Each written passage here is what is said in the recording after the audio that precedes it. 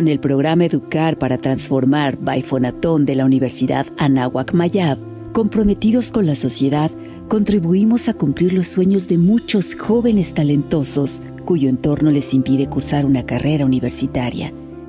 En ese sentido, les brindamos becas para emprender sus estudios y con ello generamos agentes de cambio para hacer un mundo mejor.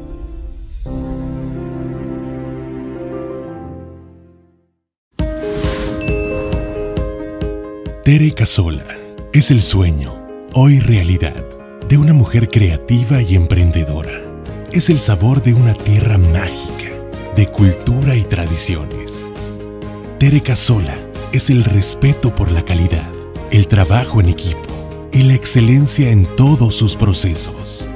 Somos Tere Casola y queremos compartir contigo toda nuestra dulzura.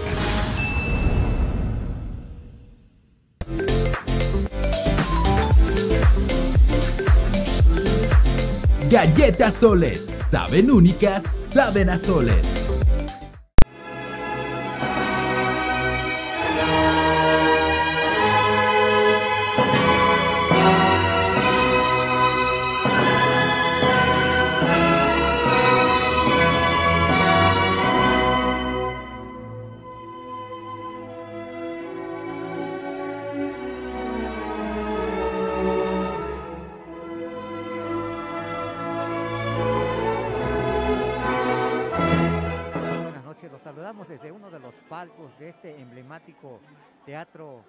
José Peón Contreras, que es pues uno de los inmuebles históricos más importantes de nuestra noble y leal ciudad de Mérida. Los saludamos con muchísimo gusto en una transmisión más de la Orquesta Sinfónica de Yucatán, que en esta ocasión, en esta subvelada musical, nos trae un estupendo cuarto programa conformado por dos obras de autores representativos del romanticismo alemán del siglo XIX. Se trata de Robert Schumann, de quien vamos a escuchar en la primera parte de este programa una obra titulada Obertura Scherzo Final.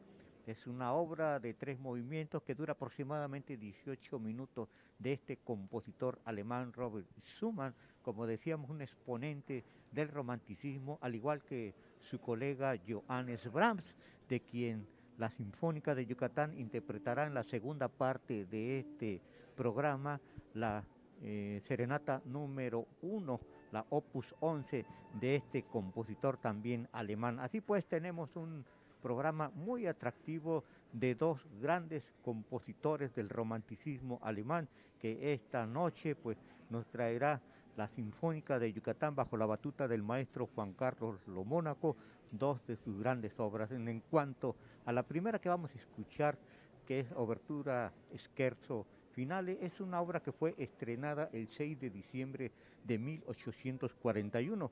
El compositor tuvo la idea de crear en principio una sinfonía, después se convirtió en una obertura a la que se le agregó un movimiento y un final y finalmente pues quedó en una sinfonieta eh, y pues fue estrenada de esa manera en el año de 1841 eh, y quedó así por una serie de recomendaciones que le hicieron al compositor, eh, a, este, a, este, gran maestro de la música orquestal, el maestro Robert Schumann, quien por cierto pues era un consumado pianista, sin embargo pues perdió la facultad de interpretar al piano dado un problema de parálisis en la mano derecha y pues tuvo que dejar el piano para dedicarse de lleno a la composición. El caso es que Robert Schumann dejó un legado de grandes obras de carácter orquestal, de carácter sinfónico, como la que vamos a escuchar a continuación, una obra realmente relevante en lo que se refiere a interpretación. Usted va a escuchar realmente, eh, es una obra llena de gran colorido, de, grandes contrastes musicales, pero de una brillantez que pues seguramente a usted lo va a cautivar. Amigos, pues estamos en una transmisión más de la Orquesta Sinfónica de Yucatán. Nos da muchísimo gusto saludarles en estas transmisiones que son gratuitas para todos ustedes y el público que se encuentra aquí pues está en la dicha de presenciar la música en vivo. Así pues, esto que vamos a escuchar a continuación se trata de el cuarto programa de la 36 temporada de conciertos de la Sinfónica de Yucatán. Así pues, la obra de Robert Schumann, titulada Obertura, Scherzo y Finales, representa la primera parte de este programa. Como decíamos, esta obra fue estrenada en la ciudad de Leipzig, Alemania, el 6 de diciembre de 1841 y goza de cabal salud, de tal popularidad que pues ha sido interpretada por orquestas de todo el mundo. Y esta noche el maestro Juan Carlos Lomónaco desde el podio pues traerá para ustedes esta interpretación de esta brillante obra conformada en tres movimientos. Y Schumann ha sido uno de los grandes compositores del romanticismo alemán que pues legó sinfonías, legó obras corales, e incluso pues una ópera y, y obras, conciertos para piano y orquesta. Pues esto es la primera parte de este programa y posteriormente escucharemos la serenata número uno, la opus 11 del compositor alemán Johannes Brahms, otro exponente del romanticismo musical del siglo XIX. Así pues son dos autores que esta noche pues eh, nos constituye, constituye pues un fuerte plato, platillo musical. Así pues, esperamos que usted disfrute de esta presentación, el pleno de la Sinfónica integrada pues prácticamente por todas las secciones. Ya se encuentra listo para iniciar este concierto bajo la batuta del maestro Juan Carlos Lomónaco. Esto que es el cuarto programa de la 36 temporada de conciertos. Sin duda, pues ha sido una gran, gran paso artístico que ha dado la Sinfónica en su trayectoria. Aquí está el maestro Christopher Collins, listo para iniciar la parte de afinación orquestal y en unos instantes más iniciaremos este concierto.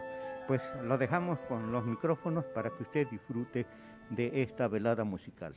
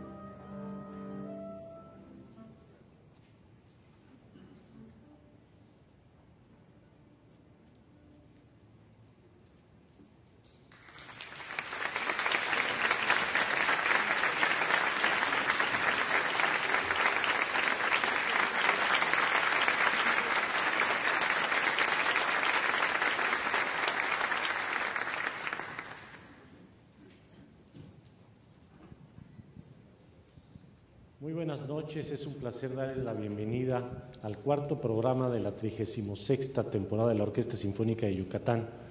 Esta noche vamos a interpretar a dos compositores que se les vincula mucho, que tenían mucho en común, los dos alemanes, los dos románticos, los dos compusieron cuatro sinfonías cada uno y eh, por supuesto mucha otra música similar, música para piano. Schumann hace un concierto para cello, Brahms hace uno para violín y cello en fin, una serie de similitudes. De eh, Robert Schumann vamos a interpretar la obertura Scherzo y Finale, una obra de 1841 que estaba concebida como su segunda sinfonía, pero finalmente el compositor deja la obra de esta manera como una cuasi sinfonía, una obra bellísima en una época en que el compositor eh, pues estaba muy feliz, pocas épocas tuvo con tanta felicidad. En la segunda parte vamos a interpretar la serenata número uno de Johannes Brahms, Opus 11 es una obra de 1847. Aunque ya había iniciado su primera sinfonía, no se atrevía a presentarla en público y no la terminaba porque tenía la sombra de Beethoven. Decía, después de la novena sinfonía de Beethoven no se puede componer nada. Pero ya se atrevió con su primer concierto para piano y después con esta hermosa serenata. Él hace dos serenatas que son prácticamente ya la introducción a sus sinfonías. Muchas gracias por su presencia y que disfruten mucho de este concierto.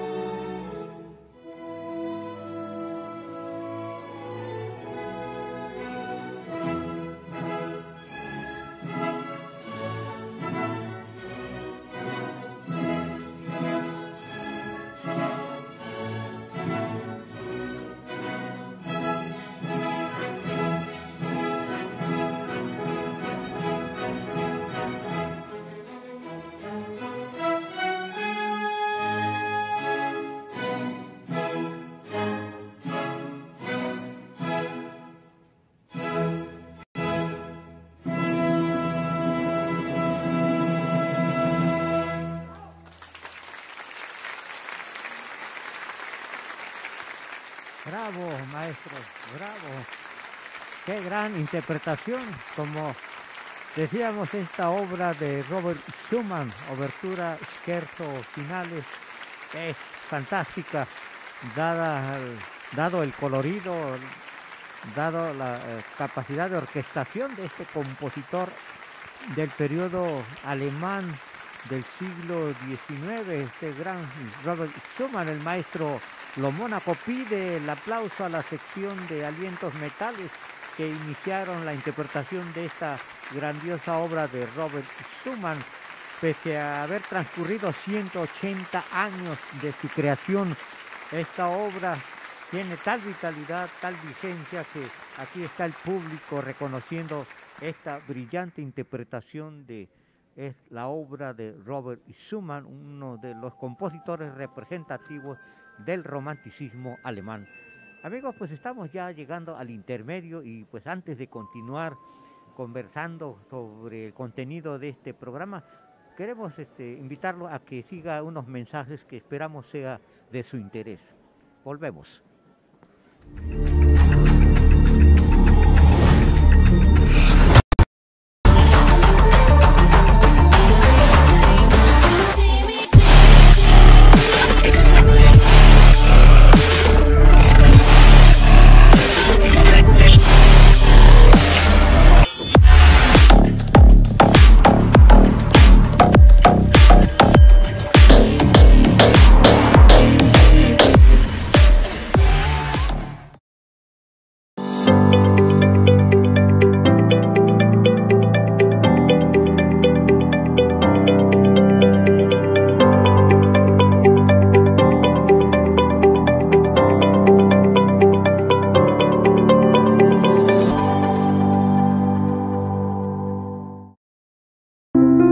El programa Educar para Transformar Baifonatón de la Universidad Anáhuac Mayab, comprometidos con la sociedad, contribuimos a cumplir los sueños de muchos jóvenes talentosos cuyo entorno les impide cursar una carrera universitaria.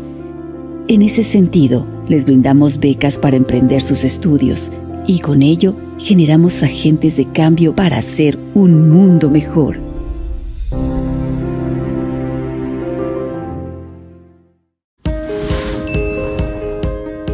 Tere Casola es el sueño, hoy realidad, de una mujer creativa y emprendedora. Es el sabor de una tierra mágica, de cultura y tradiciones. Tere Casola es el respeto por la calidad, el trabajo en equipo y la excelencia en todos sus procesos.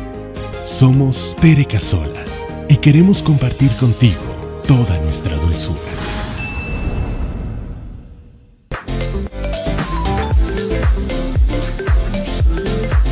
Galletas Soles. Saben únicas, saben a soles. Estimado público, les doy la más cálida bienvenida a esta nueva temporada septiembre-diciembre de la Orquesta Sinfónica de Yucatán. Les agradezco me acompañen en este icónico Teatro Peón Contreras y también a través de nuestras redes digitales. Gracias a su presencia y a su apoyo, podemos continuar con este maravilloso proyecto cultural que tantos beneficios ha traído a Yucatán. Juntos sigamos construyendo música. Muchas gracias.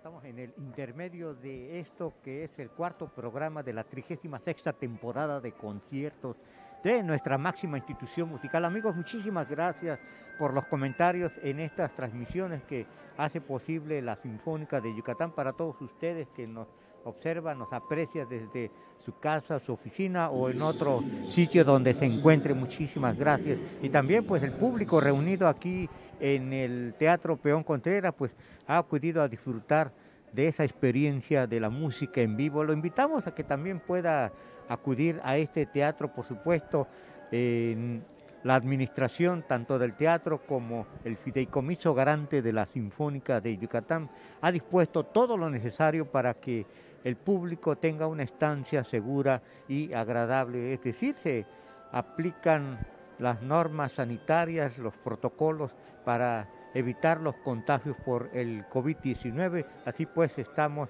en sintonía con las autoridades sanitarias para evitar que se propague esta pandemia. Amigos, nos da muchísimo gusto poder transmitir para todos ustedes pues, el contenido de este cuarto programa en la parte complementaria que es la que vamos a escuchar a continuación.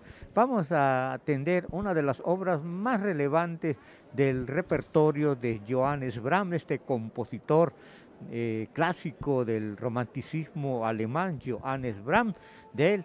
La Sinfónica de Yucatán va a interpretar la serenata número 1, opus 11, de la clasificación del legado que dejara este autor, eh, nacido en Hamburgo, este compositor alemán, pues pese a haber sido pues, este, de esta nacionalidad, pues la mayor parte de su tiempo vivió en Viena, en Austria, que era entonces la capital de la música. Bueno, pues de esta serenata número 1, opus 11, vale la pena señalar que, que es una obra que tuvo en un principio eh, pues un propósito sinfónico, es decir, Johannes Brahms, influenciado por el legado de, de Beethoven, de Ludwig van Beethoven, pues eh, impresionado por el legado que dejara este autor, pues no se atrevía a crear obras de carácter sinfónico.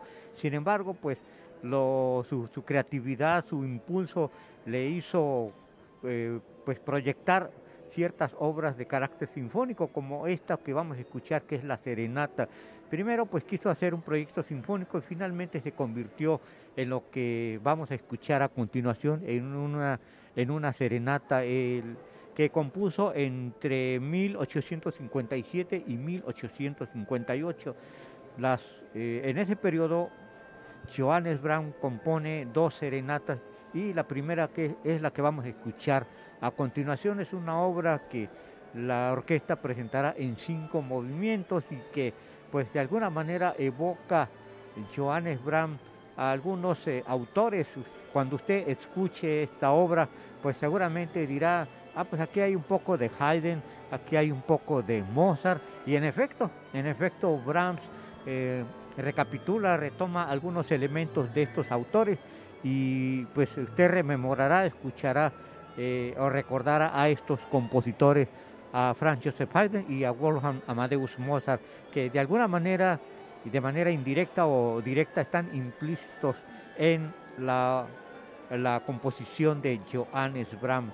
Esta obra fue estrenada el 3 de marzo de 1860. Así pues, se inscribió esta obra como la primera obra orquestal de Johannes Brahms, este autor, gran autor alemán, eh, que, pues, como decía usted, es representativo del romanticismo del siglo XIX. Johannes Brahms dejó un gran legado de obras que es considerado uno de los autores más representativos del siglo XIX.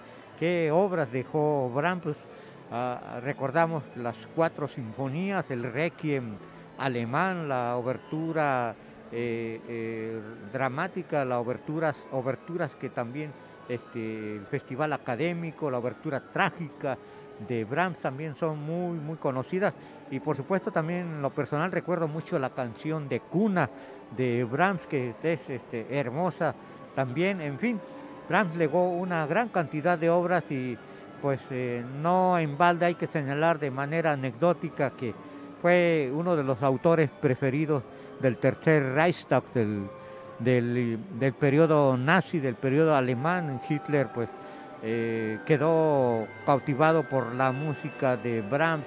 En fin, esto es solo una parte anecdótica. Lo importante es el legado que dejara Brahms a la humanidad con sus obras y vamos a escuchar a continuación esto que es pues el, la serenata número uno pues en cinco movimientos es una pues, gran interpretación que vamos a escuchar a continuación de la Sinfónica de Yucatán. Vemos que está conformada de manera completa, todas las secciones eh, participan, incluso las percusiones, los alientos metales, alientos maderas y todas las secciones de cuerdas ya se encuentran listas para presentarles a ustedes la serenata número uno de Brahms. Aquí está el maestro Christopher Collins y Regresamos con usted al final de esta transmisión. Que usted disfrute de este concierto que la Sinfónica de Yucatán ha preparado como parte de su 36 temporada de recitales. Una gran velada musical. Disfrute usted de este concierto.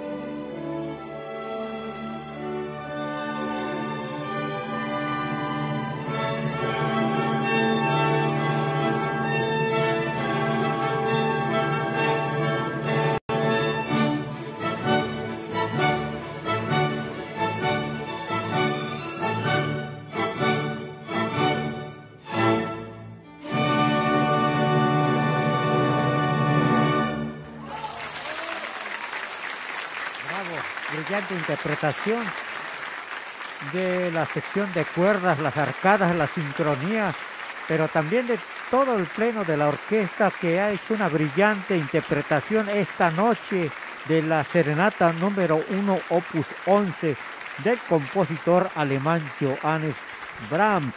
Una gran versión que ha entregado esta noche la Orquesta Sinfónica de Yucatán de una de las piezas más reconocidas y aplaudidas por el público de todo el mundo y aquí en Yucatán, en Mérida, no es para menos dar este reconocimiento tributo al compositor y por supuesto a cada uno de los integrantes de la Sinfónica. Aquí el maestro pide el aplauso para la sección de alientos metales, alientos maderas, por supuesto, pues también a cada uno de ellos que han tenido una soberbia interpretación, una soberbia actuación en lo que se refiere a la parte instrumental, por supuesto a las secciones de cuerdas, violines primeros, segundos, violas, chelos y contrabajos han recibido, reciben esta noche el aplauso de pie, el tributo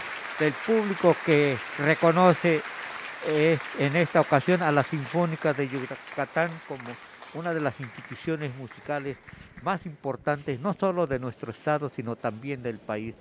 Amigos, pues estamos llegando al final de esta transmisión para todos ustedes y de este concierto del cuarto programa de la actual temporada de conciertos de la Sinfónica de Yucatán. Queremos agradecer los comentarios que han vertido a lo largo de esta transmisión, Leonor Lira, Rita Rejón, Sara Carmona, Pane Rodríguez, por supuesto, saludar a, Eligio Martínez, a Ana María Segovia y a Gloria Jocabet, entre otros que nos escuchan tanto en diversos estados del país como allende las fronteras. Muchísimas gracias por sus comentarios. Amigos, pues antes de despedirnos, queremos invitarlos a que nos sigan la siguiente transmisión en los días 15 y 17 del presente mes eh, la Sinfónica prepara un programa estupendo. Se trata de tres joyas. La primera que vamos a escuchar es la Sinfonía 92 Oxford de Franz Joseph Haydn.